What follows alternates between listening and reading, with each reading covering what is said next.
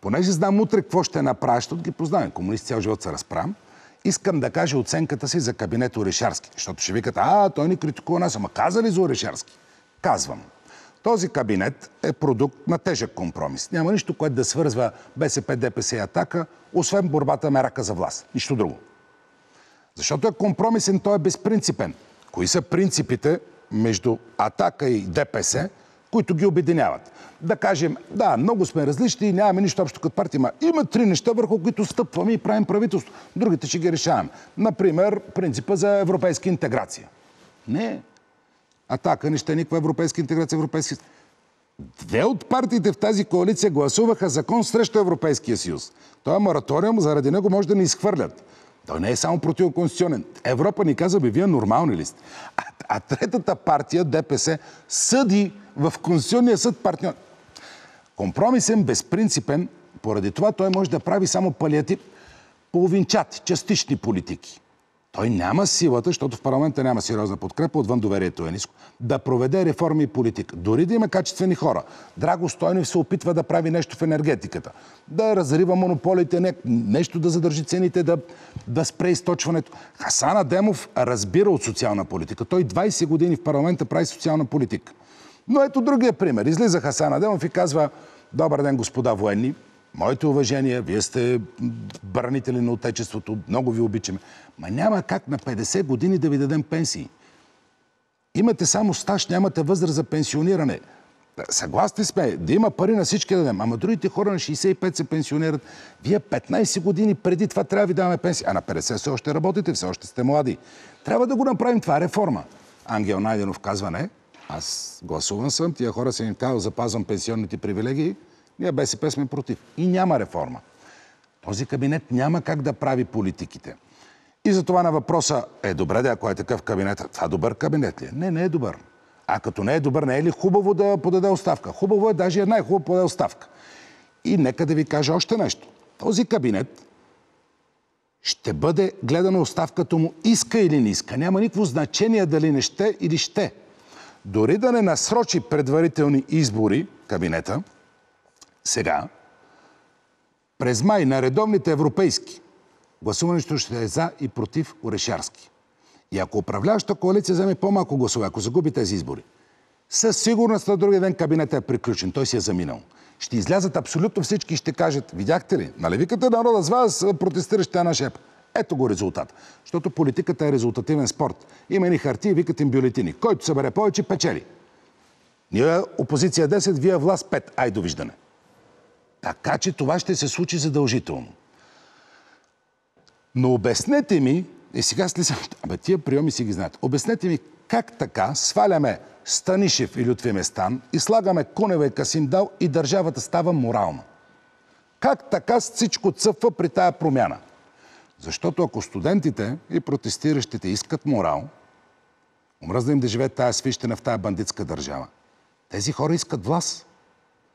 Тази група на Кунева, това не е, те не се борят за премахването на пълния член български язик.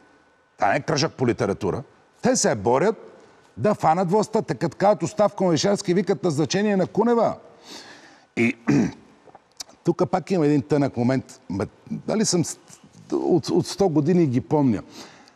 Подмяната на истинските дебати – при комунизма ни казваха, а като дойде комунизма, почва да валят, изобили от материални блага. Мет и масло ще пада от небето, дай видим бубовки с графери, да ни се лъзгате, си изтрепете в този мет и масло.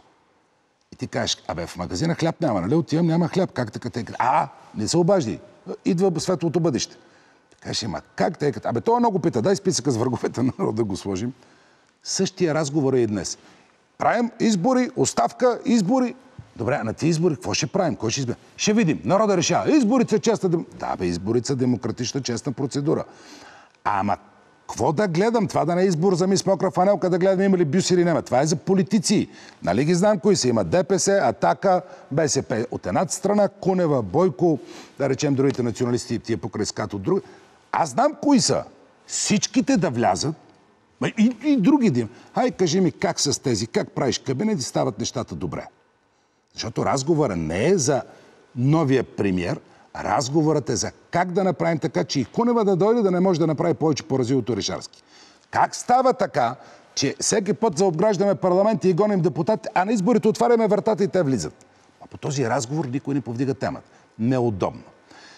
И като ме поставят в този ефтин номер, в родния ми град, мисля, че официалният израз е да те хванат за канарче, но в родния ми град в Пазарджик му викат в боядисано връбче. Горе-долу звучи по този начин. Добър ден, добър ден. Подкрепите ли вие гордите, смели български орли? И ти кажеш, да, ма това е боядисано връбче, да ми го носиш. Те ти кажат, а, видяхте ли го услугата на корпорациите и олигархията, как хули достойните високопланински български орли, на чието крила лети прогресивната младеж към светли висини. И ти си в шах и викаш, бе, хора, това връбче. Те кибрите малко сложите крилата, какво прогресивно човек ще лети? Той боядисано от боята му слепнал по решината. Не мога лети, това е връбче пешеходец. И те така, чухте ли продажните медии, как тиражират лъжите срещу високоморалните орли? И ти си вече в шах. Защото не вярваш някой да е толкова малумен, после си мислиш ти да не си вред нещо. И отговаряш, хора, обичам високоморални орли. Мен ми дай високоморален орел, не имат расист дни. А обаче това е боядисано куцо връбче. Такъв е. Този разговор, който иска да ми го представя за чутовен сблъсък. Групировката на Конева се бие в гърдите, слага етикети и вика, ние се борим, това е най-величественият сблъсък в историята на България. Побеждаваме. Ма какъв морал побеждаваш? Ти си боядисано връбче. В смисъл, не ми се прави на Гилгамеш, нали, ще велика епична битка. Нали те знам.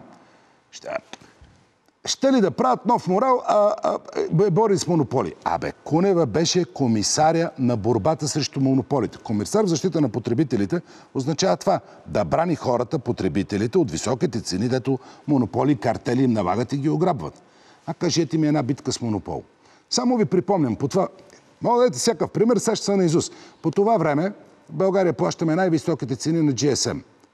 Най-бедната страна в Европа плаща най-скъпо за телефонни разговори по, по нали, по мобилните. В Англия и Франция по-ефтино. Да сте чули една декларация, едно разследване на наказателна процедура, санкция, като си отида, взеха да падат цените. Не казвам, че е била в далавера с тях, нямам такива данни. Ма факт. Е, как ще ми пребориш днес към монополите и олигархията? Ти беше най-големия борец на монополи в Европа, бе еврокомисар, европейския министр по борба с монополи. И Тръгнеш да го казваш това нещо, влизаш в списъка. Сега искам да кажа последно и с това приключвам за този списък, защото това е много силен инструмент. Другите приеми, другите похвати, или, или метода на сандвича, идентификацията с прогреса, нали, тези схеми, окей, работят, дават резултат, но списъка с врагове на народа е много страшно оръжие. Той наистина беше опасен, помня го, бил съм в такива списъци. Те си ги знаят тия работа. Добре ги правят. Нали? Това списъка е правилно. Обаче ние са комунисти, прости хора, ни ги разбират малко. Не, не разбират. Не ги обиждам, че са прости. Факт е, че комунист си е прост човек. Един списък, за да има смисъл, трябва по него да правиш нещо. Примерно списък на, за покупки. Трябва да купиш хляб, яйца и сирене. Ма ако не купиш хляб, яйца и сирене, това си е само е, харлис хартия с думи, без съществителни. Хляб, яйца, сирене. Той става списък за покупки, когато отидеш и купиш. Списъка с врагове на народа става списък с врагове, като ги мачкаш. Като отидеш и ги преследваш, заплатваш, ликвидираш. Нали тия врагове, като са врагове, трябва да се бори с тях. Само, че това не проумява, защото те си живеят още в комунизмата си такива. За този списък вече няма репресивната машина. Зад него, отзад зад списъка, той тук седи, тук е от машината са държавна сигурност, милиция, могат да те арестуват, могат да те съдят, могат да те вкарат затвора, могат да те изселят, могат да те разстрелят. Много хора бяха разстреляни. Днес не може. Мижева е демокрацията, ама поне това го махнахме, това го приключихме. Ти ми кажеш, списък си с врага, аз ти викам, ти си боядисано връбче. Какъв списък? Какво ще ми направиш? Ще ме осъдиш? Не можеш. Махнахме го точно от кодекс. Имаше член 108, глава първа наказателна антидържавна пропаганда и агитация. Когато говориш срещу комунистите, тези морални представители на народа и те те прибират затвора. От една до пет години дах. Това е един от текстовете и в Молбане. По него ми дараха пет години. Няма го вече, не могат да усъдат никой. Няма как този списък да има файда. Приема е хубав. Такива списъци бяха страшни. Но сега просто седи едно боядисано връбче след хартия. Те и преди бяха същи боядисани връбчета, но имаха палка и пистолет. И тогава се плашиш, тогава внимаваш. Казвайки всичко това, за да бъда честен, трябва веднага да кажа, че другите комунисти, около Решарски, защото нали, не тия от към Конева, към, към другия, Те правят същото. Давам само пример с Калина Накиев. Калина Накиев, професор Калина Накиев е един от е, хората, които протестират, известен, канят го по предавания, на публична фигура е говори. Написа една статия, където каза за качеството и количеството, а разпориха го. Хулин, оклеветен, наплют, всичко. Делял хората просто умни, те били такива фашисти, мизантропи. Това, което разказах до сега с приемите, тактиката на комунистическата пропаганда, от другата страна към него. И когато отиде да говори студентите, всички скочиха и казаха как може, ето той е в ДСБ, член, ръководство, водаща листа, какво прави? Значи постановка, значи тази окупация, тя партийна. Отговарям само с една дума. Щастливи са тези студенти, които имат шанса да слушат лекция на Калина Някиев. Аз бих е слушал с огромно удоволствие. Това е достоен, принципен и честен човек. Ако тия, които го хулят, имаха една десета от неговите качества, България ще е по-добро място. Не ми се коментираше, както казах в началото по тази тема, защото трябваше да разказвам такива неща, включително и за себе си. Когато казвам, че уния си позволяват да бъдат морални съдници да раздават присъди, не искам и аз да ставам такъв. Знам, че съм правил стотици грешки. Знам, че имам десетки недостат, недостатъци и сигурно още толкова пороци. Между другото, някои от които много приятни. Но не искам да влизам в тази тиня и картината, той е водевилен фарс, който ме разиграва под формата на морал. Видите ли, групировката на Кунева, според мен хората го усещат обаче. Защото той е петък, не сега мина, предния. Целия, цялата група, всичкия реформаторски блок, направи митинг в защита на студентите. Нали се пришиват, искат, слагат надпис студенти, ние сме с тях, пакета Цова Драгойчева студенти. Обявиха го, рекламираха го, призови, текат една седмица. По дописка на Дневник. Дневник е вестник, който от тази група, той ги е подкрепил. Не е вестник на Певски, на Прокопиев е. 150 човека. Ако пише 150, значи са били 100. Добре, 200 да са. 10 партии са, бе, дами и господа. По 20 човека радот, 200 човека се съберат. Те само Софийски централи си вземаш се хиляда, бе. Тя Кунева сигурно е взела 10 хиляди на изборите в София. Знаят ги, че са боядисани връбчета, не ходат. Ясно им е. И сега картината, която виждаме е отвратителна, тя е жалка, затова не ми се коментира. Боядисани връбчета подсукат из родината и кълват врагона. Просто не ми се говори, ужас някой. Давам си сметка, че този коментар не е приятен нито на властта, защото критикувам кабинета, нито на тия, защото ги разобличам. Но си мисля, че през годините, така смятам, съм си извоял правото да казвам това, което виждам, което мисля за правилно. А па, не, се вика, те тогава списите беха истински, мога да затвора. Не съм им цепил басма, сега ли да им цепи. Продължаваме напред. Интересни разговори са малко в студиото.